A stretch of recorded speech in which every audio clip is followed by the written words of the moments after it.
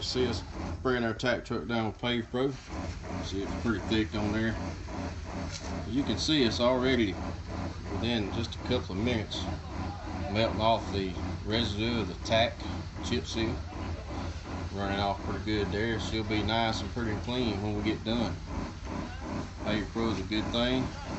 Great product. Best of all, it's biodegradable. We don't use diesel anymore on any of our pavers, tack trucks. We use PavePro only. We'll come back later in uh, video after effect here. See if it gets her clean, usually does.